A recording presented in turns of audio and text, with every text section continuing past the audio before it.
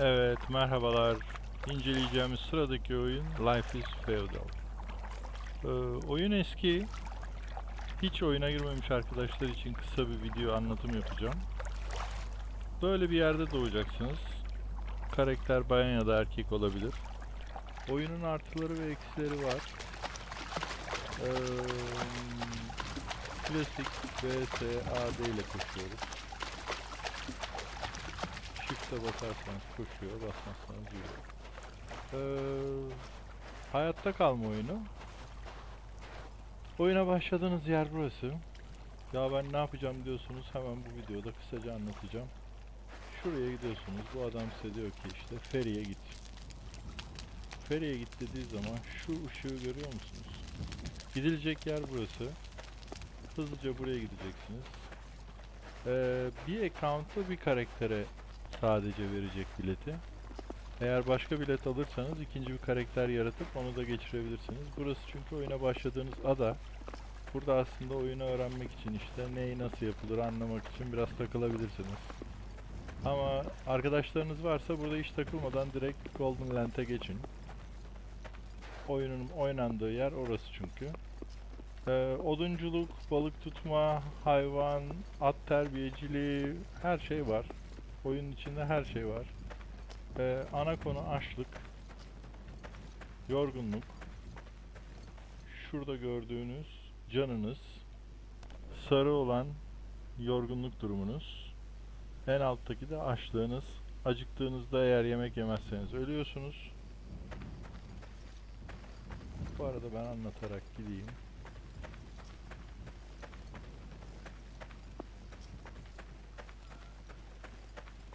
Harita güzel. Grafikler güzel. Ee, nedense çok fazla insan oynamıyor bu oyunu. Ee, Belirli bir kitle oynuyor. Ee, Ruslar daha yoğunlukta. Avrupalılar da var. Ee, tek başınıza oynayabileceğiniz bir oyun değil aslında. Ee, tek başınıza oynayabilirsiniz. Geçtiğiniz yerde e, save zone'lar var. Orada kimse size dokunmadan işte kendi evinizi vesaireyi kurabilirsiniz ama e, neyse buraya geliyorsunuz. Burada Ferryman'e basıyorsunuz. Ferryman'de Sail to Annabelle diyor. Popülasyon online. E, Go'ya basmak için bir çantanızda biletinizin olması gerekiyor. Bilet yoksa gidemezsiniz ya da bir kodunuzun olması gerekiyor. Adaya geçmenin şartı bu. Şimdi isterseniz adaya geçelim. Varmış düşünelim. Diğer karakterle ben devam edeceğim. Ve adaya geçelim. Orada size anlatmaya devam edeyim. Evet şimdi Golden Land'e geçtiğimiz kısma geleceğim. Ee, normalde siz o feriden geçtiğiniz zaman e, save zone denen bir yere geleceksiniz. Dediğim gibi orada bir ev kurup e, şeyler yapabilirsiniz ama önemli olan burada arkadaşlarla birlikte bir şeyler yapabilmek, e, kaleler inşa edebilmek, işte kendi mesleklerinizi geliştirebilmek. E, çeşitli meslekler var. Bütün oyunlarda olduğu gibi. Bunların hepsini tek tek şimdi göstereceğim, anlatacağım size. E, oyun eski dediğim gibi ama eğlenceli hani e, uzun süre vakit harcayabileceğiniz bir oyun. Detaylar var mı? Var. Ee, oyunun ana konusu en büyük kısmı kaliteli ürün elde etmek. Oyunda gördüğünüz her şeyin bir kalitesi var. Ee, en kaliteli şeyi elde etmeye çalışacaksınız. Yani yerden bir sopa alıp bir de taş alıp e, bir tane balta yapabilirsiniz. Ama taşın kalitesi ve sopanın kalitesi çok önemli. Örnek veriyorum. Ee, 100 kalite bir sopayla 100 kalite bir taş bulup yaparsanız en kaliteli baltayı yapmış olacaksınız. Ama işte rastgele 10 kalite bir tane tahta, 3 kalite bir tane taş yaptığınızda o balta çok daha kısa sürede parçalanacak ve kalitesiz olacak. O yüzden oyunda aklınıza gelebilecek zırh, silah, malzeme, e, işte ıvır zıvır aklınıza ne geliyorsa kaliteyle ilgili oyunun böyle bir özelliği var. Şimdi geldik. Evet, Golden Land'deyiz. Burası bizim kalemizin olduğu yer. Çeşitli binalar var. Temel binalar. İşte warehouse var mesela. eşyalarınızı koyabilmeniz için. Burada bütün guild bunu kullanabilir. Herkes buraya eşyalarını koyabilir. Blacksmith var. Madenciler için silah, zırh vesaire yapımı için bunlar lazım.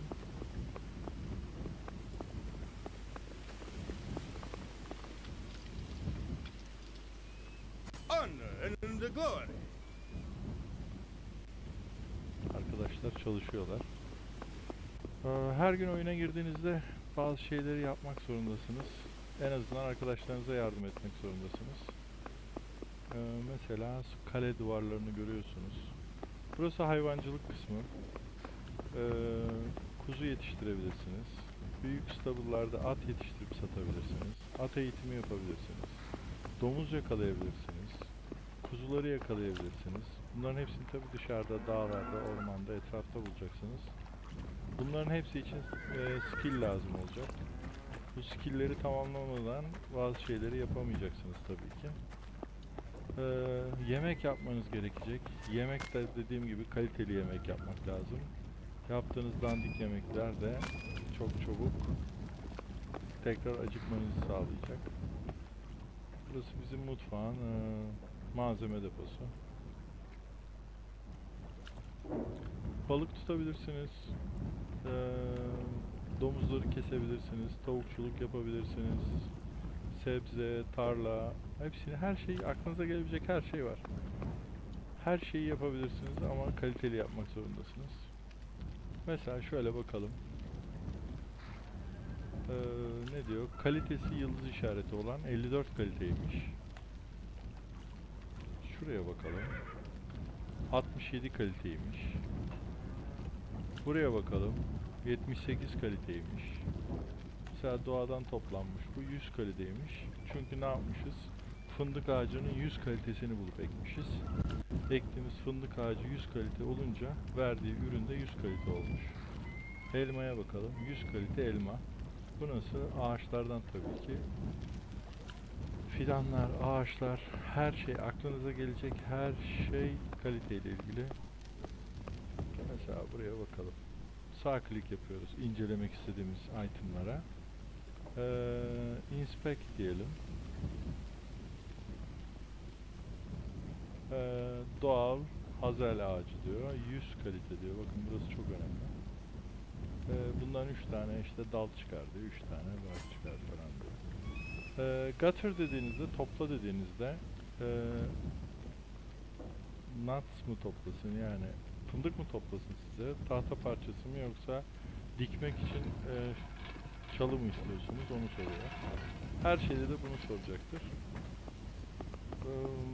Bunun dışında çok aslında çok konu var tabii ki de hangi birini anlatayım şu an aklıma gelmedi tek tek. Eğer videonun altına yazarsanız ne lazım onları da size anlatabilirim.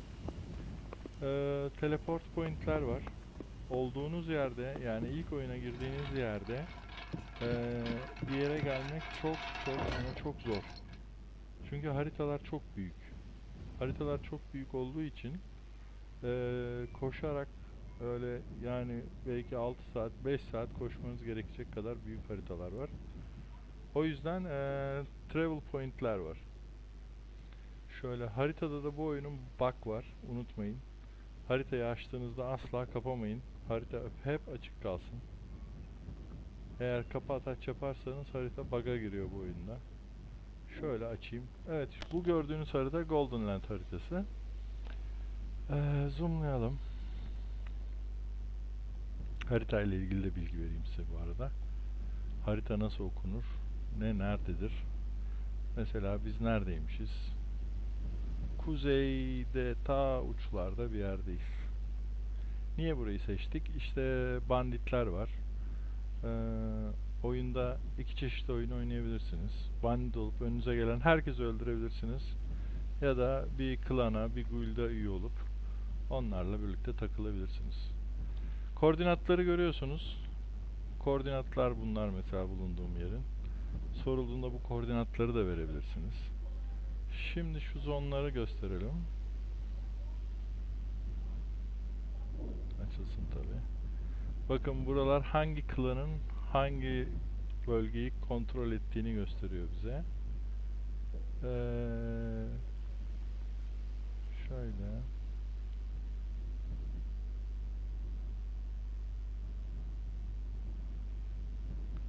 Green Zone dediğimiz bölgeler var. Doğduğunuz yerde 4 tane oyunda Green Zone var aslında. Ee, bu Green Zone'larda size hiç kimse dokunamaz.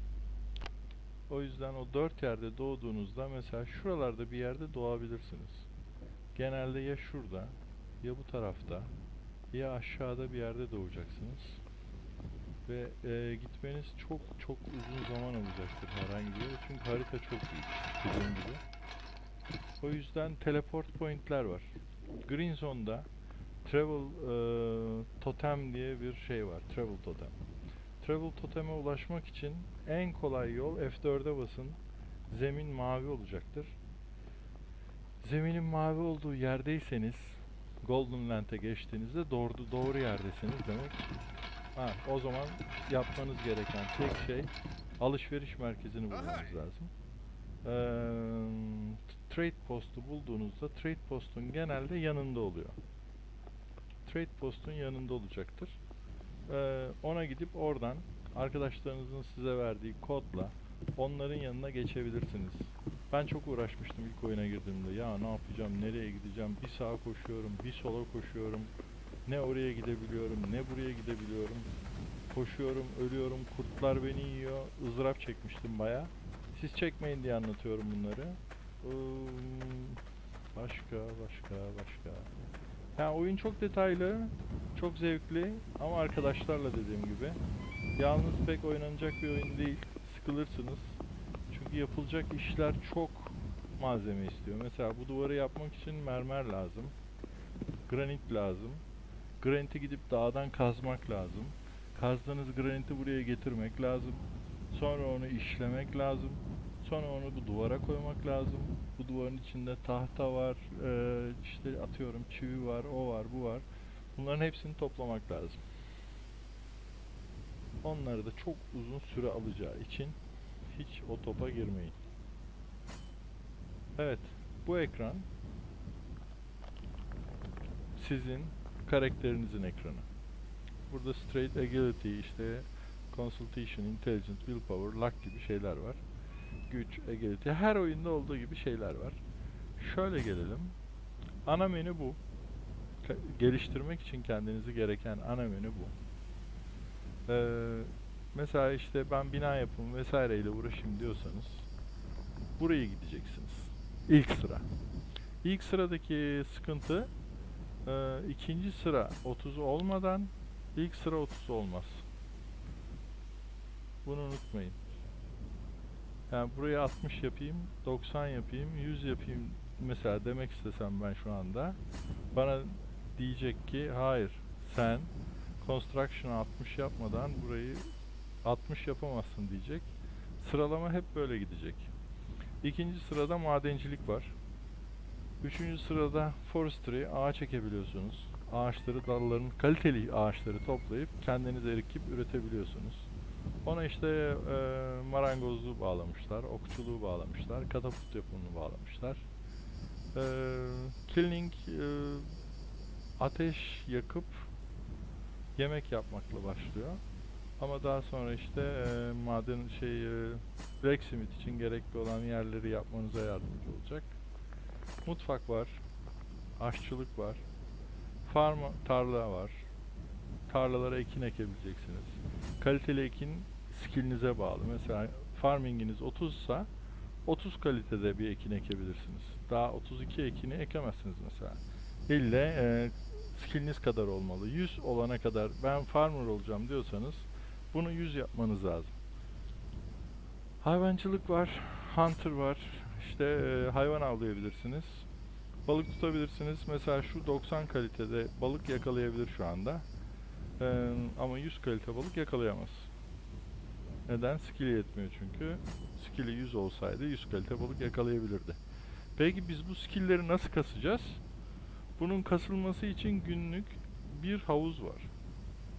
500 bin experience point alıyor burası. Ee, yaptığınız her şey size bir skill verecektir. 3 5 3 5 3 5. Bu aslında her gün oyuna girip bunu doldurmanız gerekiyor. Bu dolduğu sürece bunlar çalışacak.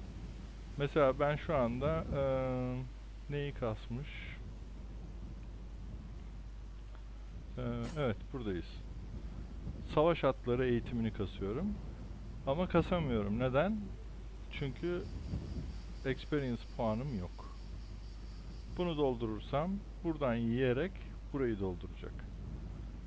Ee, hepsinin çeşitli zamanı var. Mesela bu bir gün 8 saat sonra dolacakmış. Bunun 100 olması bilmiyorum. Ee, onu basarsak orada görürüz. Gibi. Ee, level kasma olayı da bu. İkinci level'ınız var. Combat level'larınız. İşte at üstünde savaşmak istiyorsanız at kullanmayı, e, at üstünde silah kullanmayı öğrenmeniz gerekecek.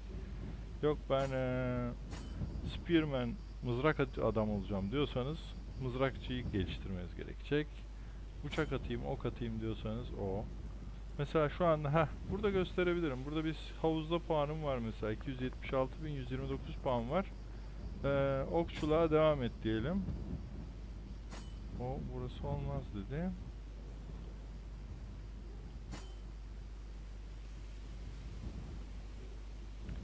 Bir şey, bir şey, bir şey, bir şey. Ha bu tarafı gerekecek. Evet yani experience puan bu. Buradan burayı devam ettirebiliyorsunuz. Buradan devam edeyim. Ee, malzeme taşırken daha hızlı yürümek için. Ee, dua ettiğinizde günde bir kere dua edebiliyorsunuz. Tanrı sizi duyarsa experience puan veriyor. Yüzmeyi hızlandırabilirsiniz. Ata binmeyi geliştirebilirsiniz. Burada kendi e, üst baş kılık kıyafetinizi görüyorsunuz. Ne giydiğinizi. Burada işte isim bilmem ne vesaire.